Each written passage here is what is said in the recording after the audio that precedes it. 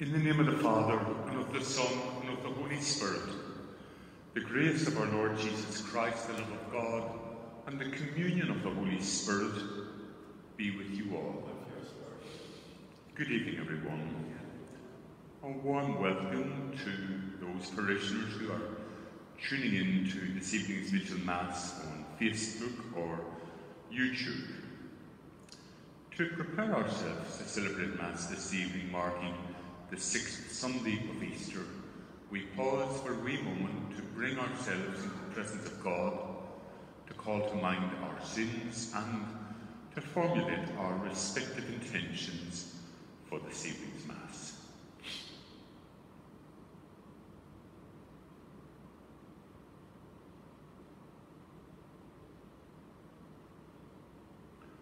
Lord Jesus, you have shown us the ways of the Father. Lord, have mercy. Lord Jesus, you have given us the consolation of the truth. Christ, have mercy. Lord Jesus, you are the Good Shepherd, leading us into everlasting life. Lord, have mercy. May Almighty God have mercy on us, forgive us our sins, and bring us to everlasting life. Glory to God in the highest, and on earth peace to people of goodwill. We praise you, we bless you, we adore you, we glorify you. We give you thanks for your great glory, Lord God, Heavenly King, O God, Almighty Father. Lord Jesus Christ, only begotten Son, Lord God, Lamb of God, Son of the Father. You take away the sins of the world, have mercy on us. You take away the sins of the world, receive our prayer. You are seated at the right hand of the Father, have mercy on us. For you alone are the Holy One, you alone are the Lord, you alone are the Most High, Jesus Christ, with the Holy Spirit, in the glory of God the Father. Amen. Let us pray. Grant, Almighty God, that we may celebrate with heartfelt devotion these days of joy, which we keep in honour of the risen Lord, and that what we relive in remembrance, we may always hold to in what we do. Through our Lord Jesus Christ, your Son, who lives and reigns with you in the unity of the Holy Spirit, one God, forever and ever. A reading from the Acts of the Apostles. Philip went to a Samaritan town and proclaimed the Christ to them. The people united in welcoming the message Philip preached, either because they had heard of the miracles he worked, or because they saw them for themselves.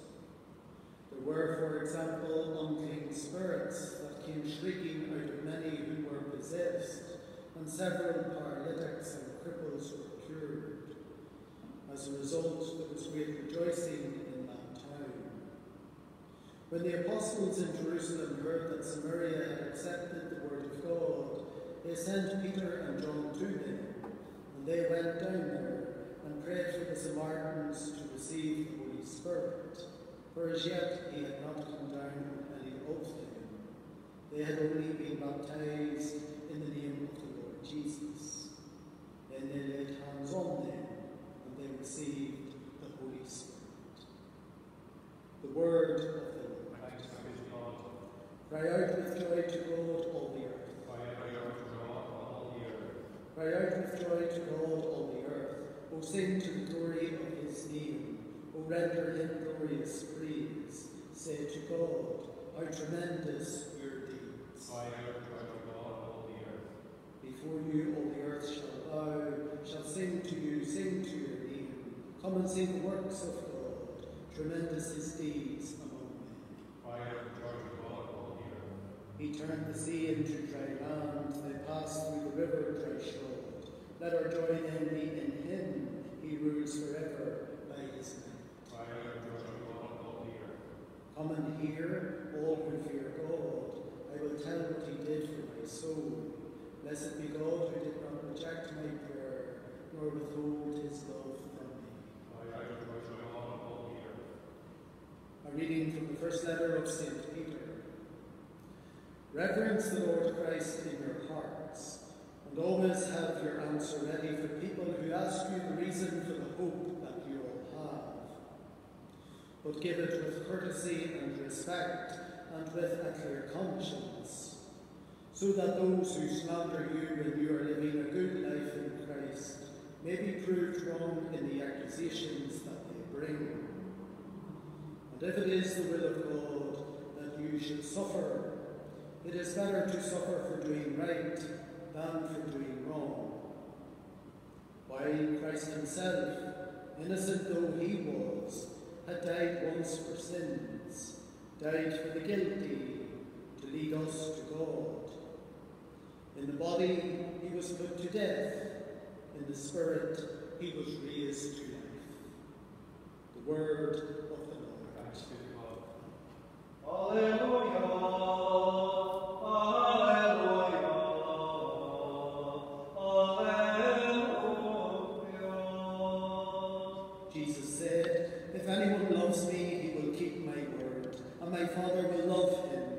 We shall come to him. Alleluia. Alleluia.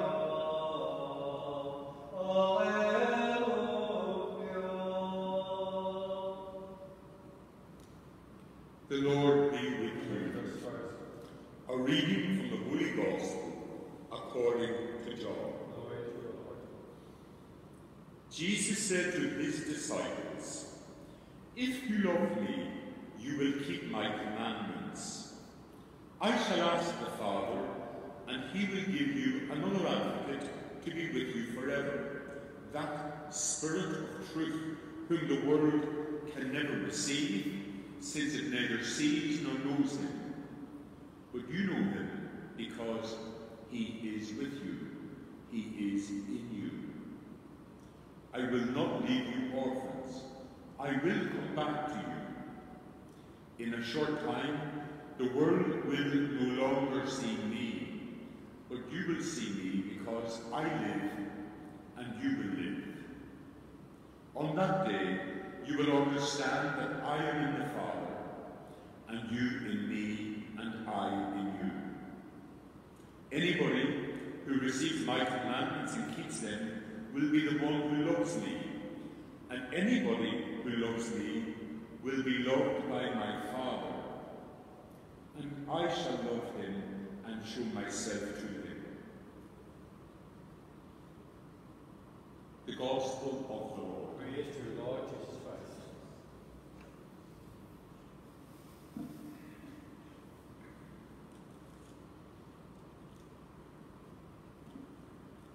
Four-year-old little Roisin used to shout and jump for joy at midday every day when her mother came home from work on her lunch break. Her mum would pick her up at the neighbour's house. They'd hurry home, eat lunch, and play together for an hour. But little Rosie would become hysterical when her mother left again after lunch to return to her place of work. Then one day, her mum stopped coming home for lunch altogether. Rosie was immensely saddened, and she wondered why her mammy had stopped coming home. She wondered why her mammy had stopped eating lunch with her and playing with her. At a child's best level of reasoning, she wondered if her mammy still loved her as much she once did. Years later, little Rosie learned that her mother did, in fact, come home every day at lunch hour. Her mum sat at the kitchen window eating her lunch on her own and watching Rosie play in her neighbour's back garden. And all the while, her mum wanted to be with Rosie. She longed to hold her close when she cried. But it was for Rosie's good that she didn't. Eventually, Rosie adjusted to her mammy's absence from her life at lunch and she grew up in a healthy way. Looking back on it now, Rosie sees why her mum stopped coming It was for her own good, for her own growth, and for her own development. That little story has something in common with this evening's Gospel.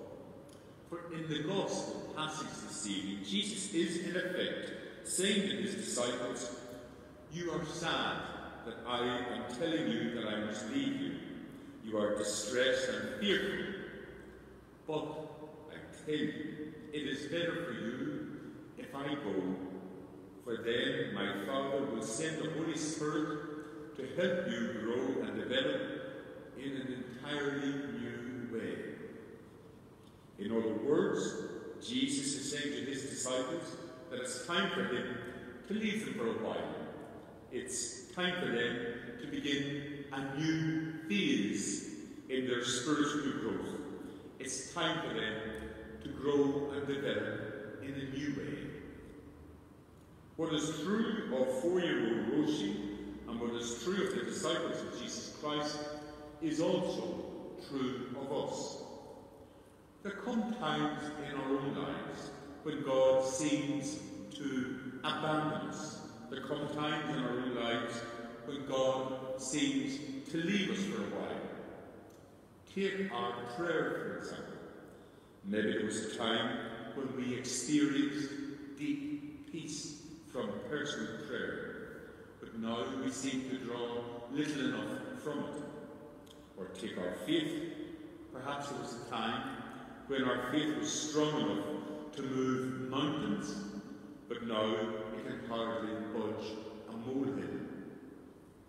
Or take our religious commitment.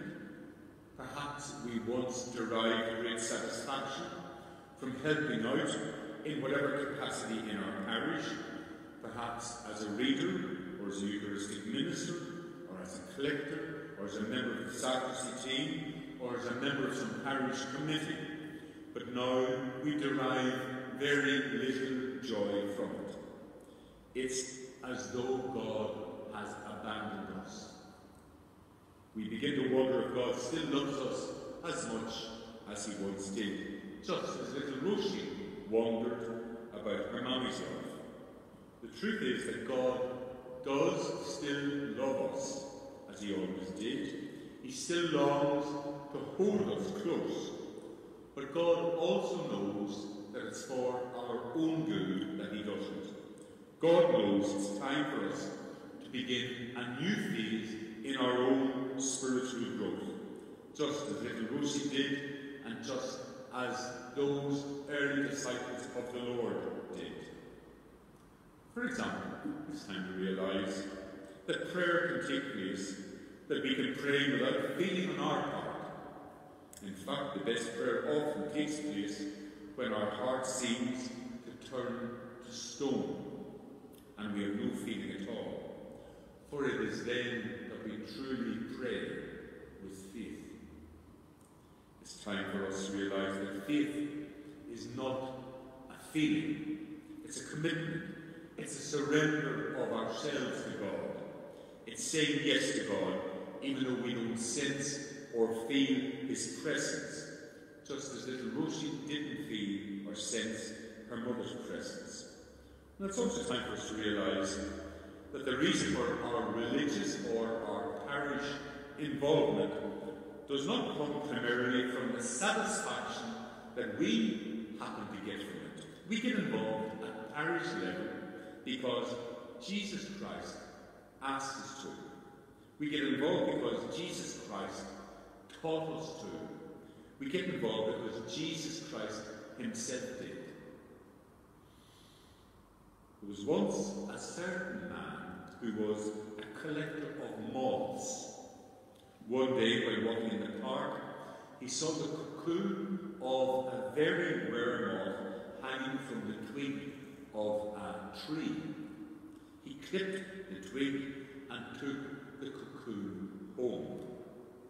A few days later, he saw movement inside the cocoon, but the moth did not emerge. The following day, he saw movement again. But again, nothing happened. When it happened a third time, the man took his knife and slit. The moth crawled out, but to the collector's dismay, it was undeveloped and soon died. A biologist friend explained why. He said that nature has arranged it in such a way that a moth must struggle to escape its cocoon. It's this very struggle that causes it to develop and makes it strong enough to survive.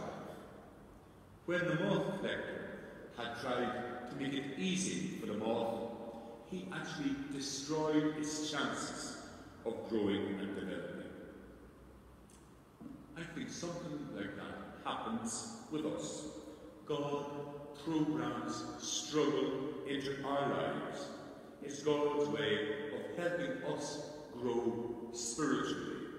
God has arranged things so that at certain points in our prayer life, we must struggle. God has arranged things so that at certain points in our faith life, we must struggle. God has arranged things so that at a certain point in our spiritual lives, we must struggle. And all the while we are struggling, God is close at hand. Just as little Roshi's mother was close at hand when Roshi was struggling, God knows that it's for our own good that we struggle for a while, because it's through this kind of struggle that we grow and develop spiritually into seriously mature Christians.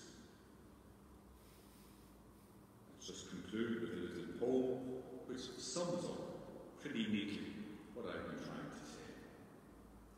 For every pain we must bear, for every burden, every care, there is a reason. For every grief that bows the head, for every teardrop that is shed, there is a reason. For every hurt, for every plight, for every lonely, pain-racked night, there is a reason.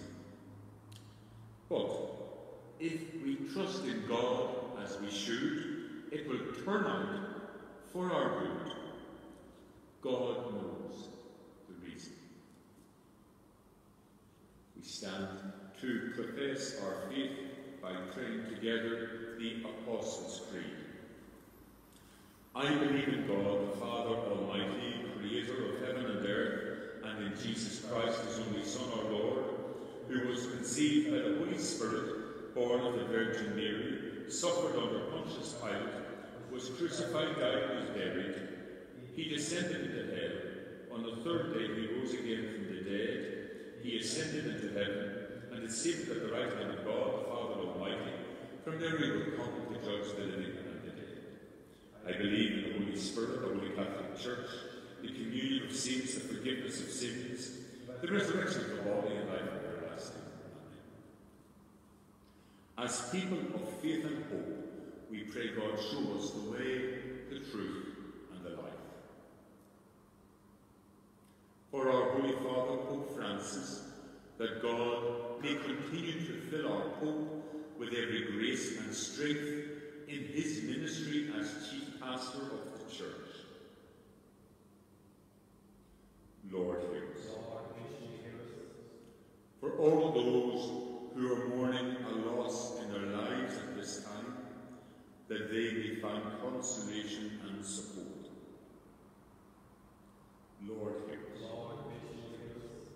For those parishioners of ours who are poorly in mind or body, at home, in hospital, or in the nursing home, for those numerous parishioners who are receiving treatment of one kind or another, that through the intercession of Our Lady of Lourdes, they may know relief from their sufferings.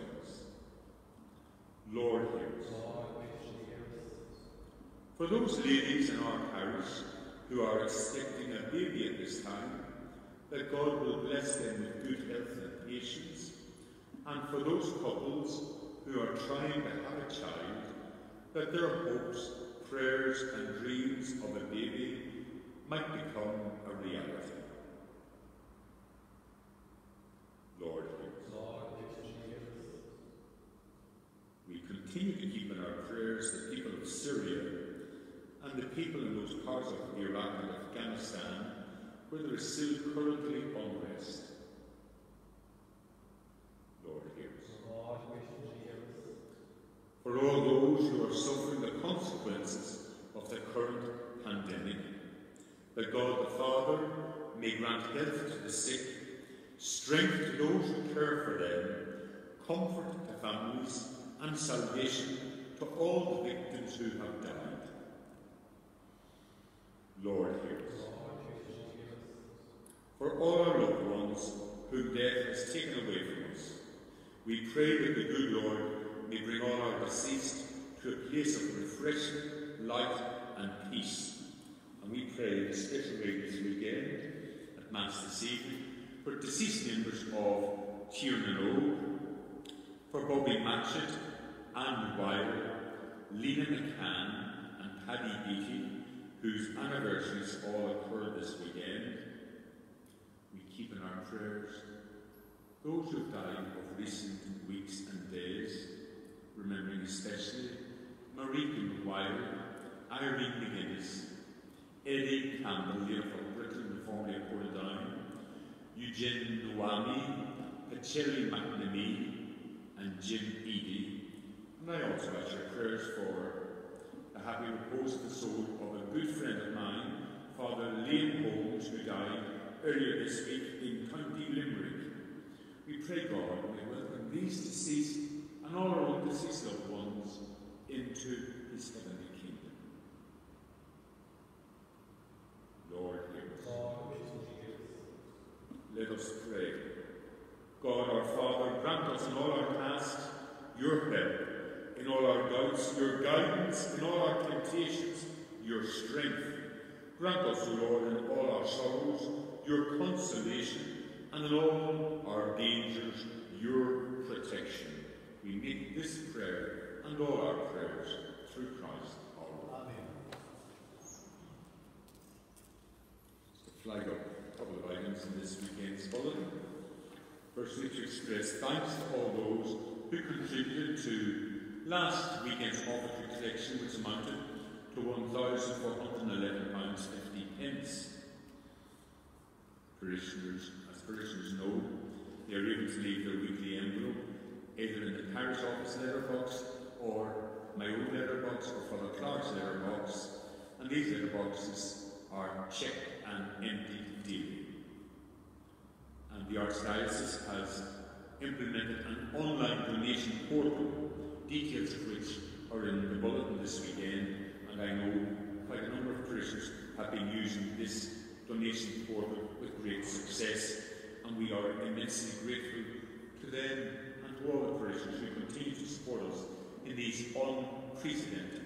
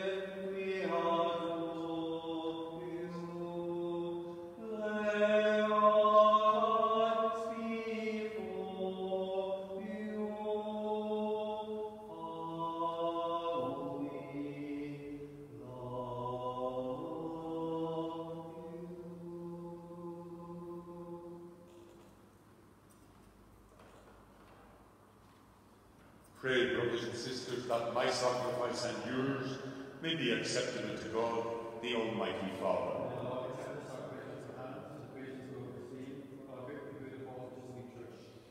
May our prayers rise up to you, Lord, together with the sacrificial offerings, so that purified by your graciousness, we may be conformed to the mysteries of your mighty love through Christ our Lord.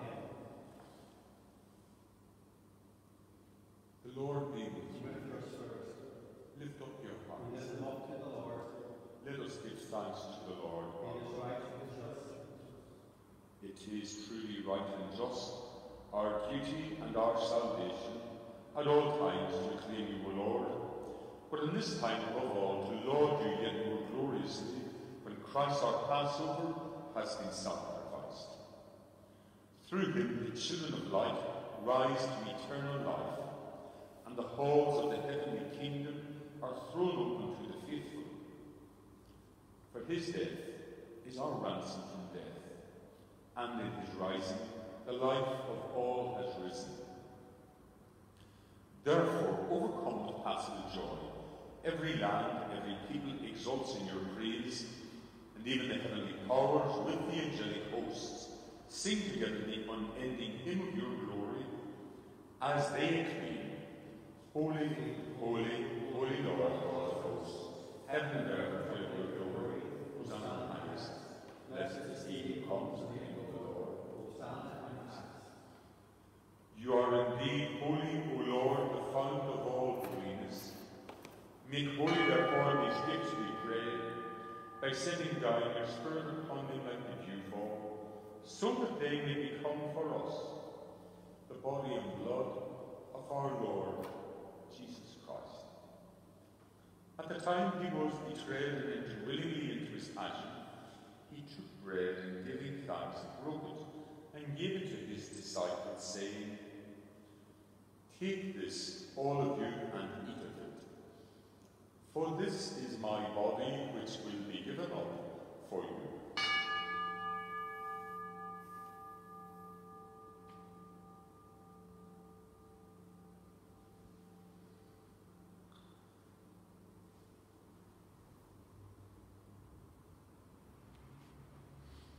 In a similar way, when supper was ended, he took the chalice, and once more giving thanks, he gave it to his disciples, saying, Take this, all of you, and drink from it. For this is the chalice of my blood, the blood of the new and eternal covenant, which will be poured out for you and for many for the forgiveness of sins. Do this in memory of me.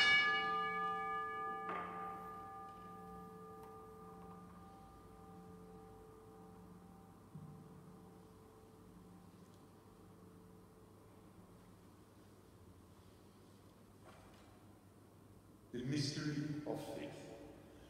We proclaim your death, O Lord, and profess your resurrection until you come again. Therefore, as we celebrate the memorial of his death and resurrection, we offer you, Lord, the bread of life and chalice of salvation, giving thanks that you have held us worthy to be in your presence and minister to you. Humbly we pray that partaking of the body and blood of Christ, we may be gathered into one by the Holy Spirit. Remember, Lord, your church spread throughout the world and bring her to the fullness of charity, together with Francis, our Pope, Eamon, our Bishop, Michael, his Assistant Bishop, Sean, our retired Bishop, all the clergy, and the entire people you have gained for your own. Remember also our brothers and sisters who have fallen asleep in the hope of the resurrection, and all who have died in your mercy. Welcome them into the light of your face.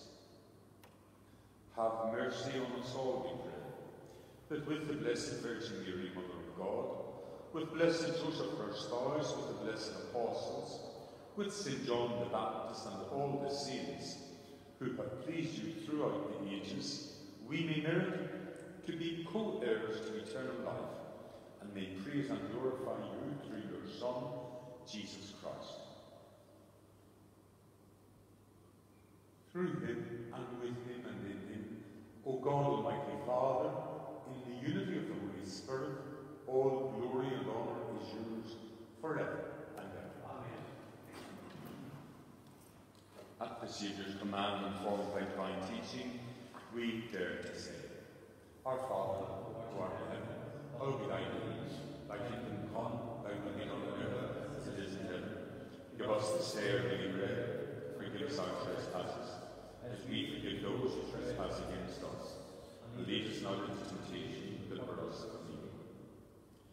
Deliver us, Lord, we pray, from every evil. Graciously grant peace in our days, that by the help of your mercy we may be always free from sin and safe from all distress. As we wait blessed hope and the coming of our Saviour Jesus Christ. The kingdom, the power, and the glory are yours now and forever. Lord Jesus Christ, who said to your apostles, Peace I leave you, my peace I give you. Look not on our sins, but on the faith of your church, and graciously grant her peace and unity in accordance with your will, who live and reign forever and ever. Amen. The peace of the Lord be with you always. May this mingling of the body and blood of our Lord Jesus Christ bring eternal life to us who receive it. Lamb of God, You take the world, have mercy on us. Lamb of God, the world, have mercy on us. Lamb of God, you take away the sins of the world, grant us peace.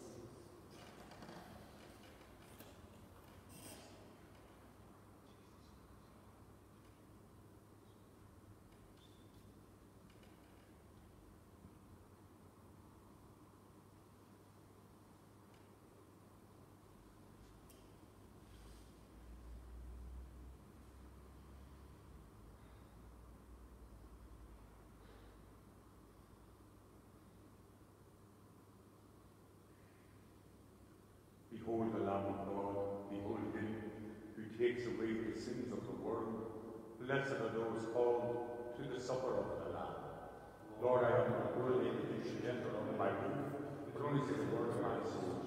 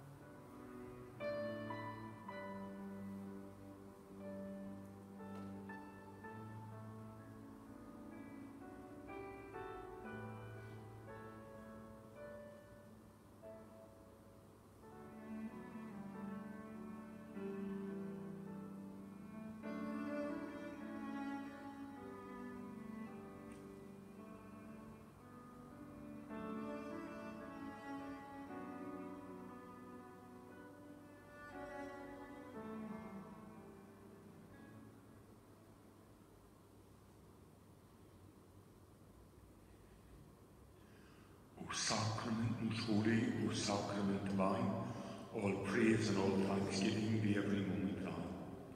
O sacrament most holy, O sacrament divine, all praise and all thanksgiving be every moment thine. O sacrament most holy, O sacrament divine, all praise and all thanksgiving be every moment thine. O Sacred Heart of Jesus, Immaculate Heart of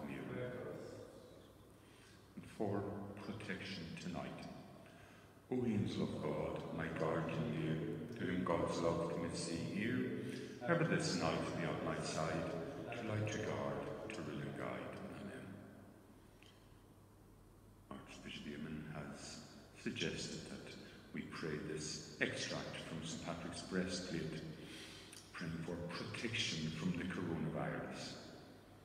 Christ with me, Christ before me, Christ behind me, Christ in me, Christ beneath me, Christ above me, Christ on my right, Christ on my left, Christ when I lie down, Christ when I sit down, Christ when I arise, Christ in the heart of everyone who thinks of me, Christ in the mouth of everyone who speaks of me, Christ in every eye that sees me, Christ in every ear that hears me. We also invoke the intercession of our Mother in heaven with this little prayer again for protection from the coronavirus. Most glorious Queen of heaven and Mother of God, you whom the Blessed Trinity has crowned with unequaled glory, you are the sovereign Queen over all God's creation. We place ourselves and all our loved ones under the power, protection, and sovereignty of your crown. Under the protection of your crown, and through your immense intercessory power, we ask you to spare us all from the effects of the coronavirus. Dearest Mother and Queen, more Mother than Queen, we, your children in Christ Jesus, ask you to obtain for us an end to the spread of the virus. Amen. Eternal rest grant unto them, O Lord. May they rest in peace. May their souls and the souls of all the faithful departed, through the mercy of God, rest in peace. Amen. Let us pray.